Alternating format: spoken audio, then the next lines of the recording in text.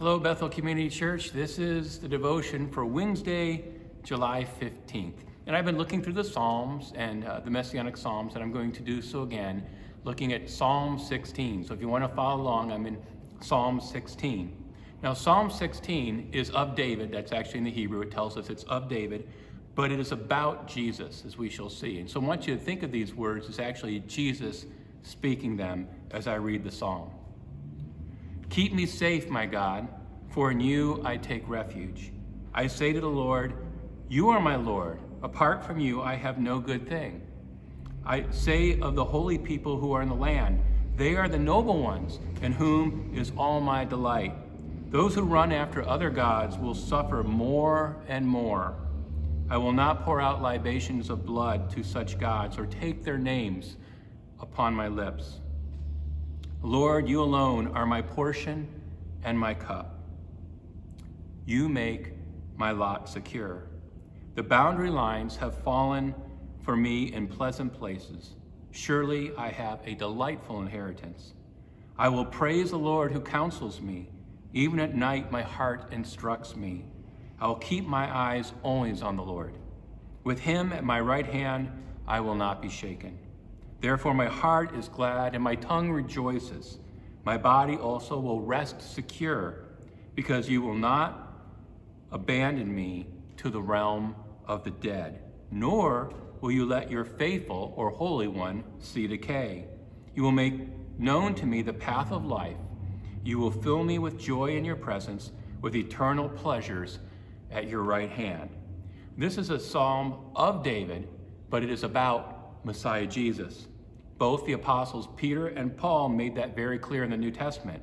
In Acts chapter 2, verse 25 to 28, we have Peter speaking, and it says, David said about him, about Jesus, I saw the Lord, he quotes our psalm, I saw the Lord always before me because he is at my right hand. I will not be shaken.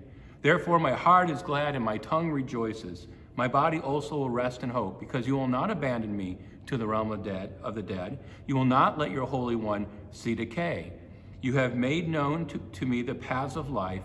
You will fill me with joy in your presence. Peter said this psalm is not about David, but is about Jesus.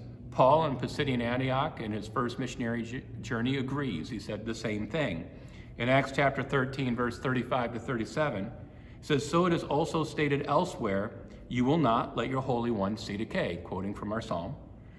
And Paul goes on to say, Now when David had served God's purpose in his own generation, he fell asleep. He was buried with his ancestors, and his body decayed. But the one whom God raised from the dead did not see decay. So it's really clearly a messianic psalm about Jesus. It's of David, about Jesus. Now, there are many truths here, but I want to look at just two specifically.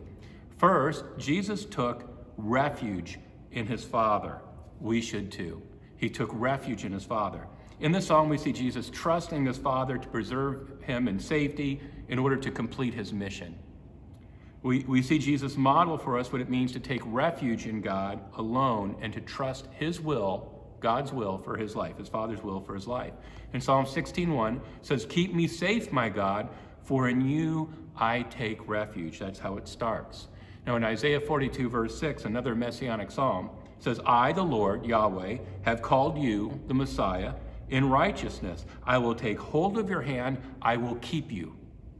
And I will, will make you to be a covenant for the people and a light for the Gentiles. In Scripture, we consistently see the Father watching over and guarding his Son, uh, even from the plots of demons and men. And he protected and cared for Jesus and saw him through to fulfill his mission. And just to give a few examples, the Father protected the Son when King Herod wanted to kill the toddler Jesus. In Matthew chapter 2, verse 13, says, When the Magi had gone, an angel of the Lord appeared to Joseph in a dream. Get up, he said, take the child and his mother and escape to Egypt. Stay there until I tell you, for Herod is going to search for the child to kill him. And so he protected his son and, and, and was, he, he was reliable in making sure that no harm would fall, befall Jesus before his appointed time. The Father also ministered to the Son in the wilderness after being tempted by Satan, and he did that, of course, at the beginning of his earthly ministry. In Matthew chapter 4, verse 11, it says, Then the devil left him after tempting him, and angels came and attended to him.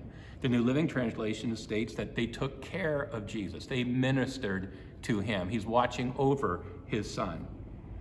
Jesus can rightfully take refuge in God the Father. The Father also ministered to the Son in the Garden of Gethsemane toward the end of his earthly ministry. In Luke 22, verse 43 to 44, after Jesus had prayed for his Father's will to be done, it said, An angel from heaven, so God sent an angel, appeared to him and strengthened him. And being in anguish, he prayed more earnestly, and his sweat was like drops of blood falling to the ground. And in that critical moment, Jesus entrusted himself to his Father, and his Father took care of the needs that Jesus had. He trusted in his Father's will, and he trusted in his Father's strength. We should too. If Jesus needed to do that, certainly we do. In Psalm chapter 46, verse 1 to 3, it says, God is our refuge and strength, an ever present help in trouble. Therefore, we will not fear. I'm going to underline that again because in this time in our culture, we need to hear that a lot. Therefore, we will not fear. Though the earth give way and the mountains fall into the heart of the sea, though its waters roar and foam and the mountains quake with their surging, we have no reason to fear when we take refuge in the Father. It doesn't matter if it's a coronavirus, it doesn't matter if it's craziness and anarchy in our culture. We do not fear because we take refuge in the one who can come through and provide everything we need to fulfill his promises. So the first truth is Jesus took refuge in his Father. We should too. The second truth is Jesus sought to do his Father's will and complete his mission. He was not about his Father's will. We already mentioned the Garden of Gethsemane where he said, It's your will, not mine, be done. In Psalm 16, verse 7 to 11, it said, I will praise the Lord who counsels me. Even at night, my heart instructs me. I keep my eyes always on the Lord. That's good advice for us, too.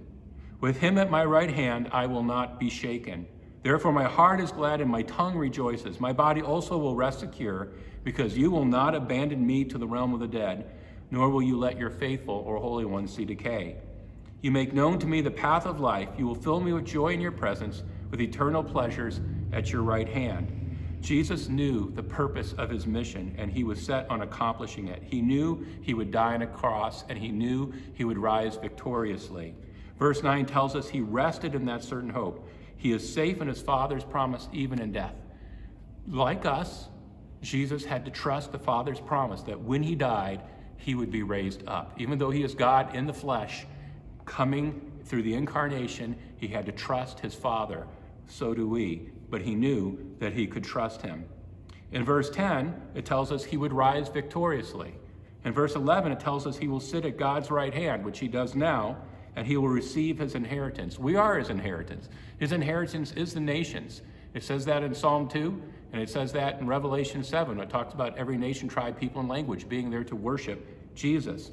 You are his inheritance. In John 14, 1 to 3, Jesus said, Do not let your hearts be troubled. You believe in God, believe also in me.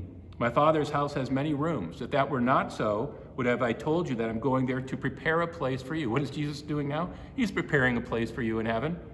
So whether you're raptured first or you die first, the next place you're going to be is with in heaven in a place that he's prepared for you.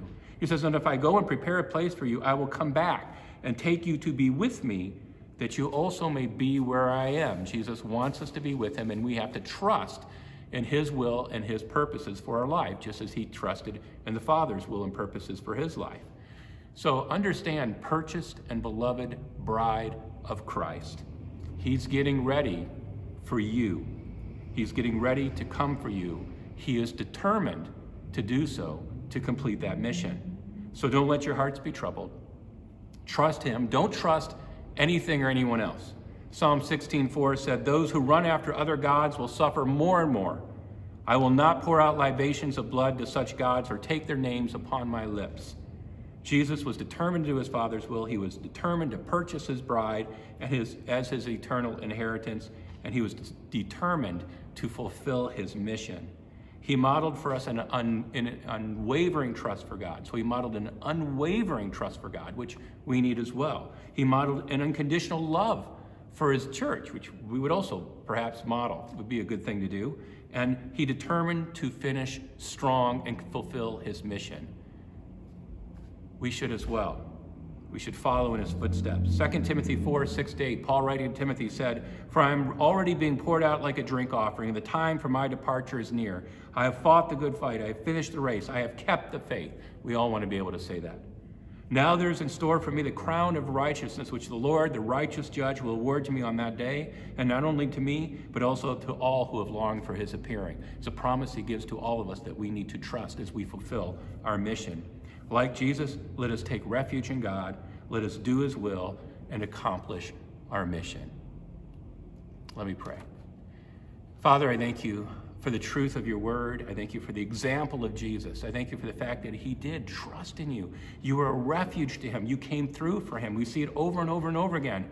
And Father, in our lives, we see you coming through for us over and over and over again. We can take refuge, refuge in you, even in uncertain times, even with fears that are out there, the coronavirus, of anarchy and chaos that is taking place in our culture, with the uncertainty of the future. We take refuge in you. There's no reason to fear. And we know that you will help us accomplish your will for us as your bride, as the church, and individually as well. And so we trust you and we look to seek you and to do your will and follow through to finish strong so that we can say we fought the good fight, we have finished the race. And we know that what's in store for us is beautiful, tremendous, and glorious. And we trust in that truth with everything we have and all that we are. And this we pray in Jesus' name. Amen. Thank you for watching.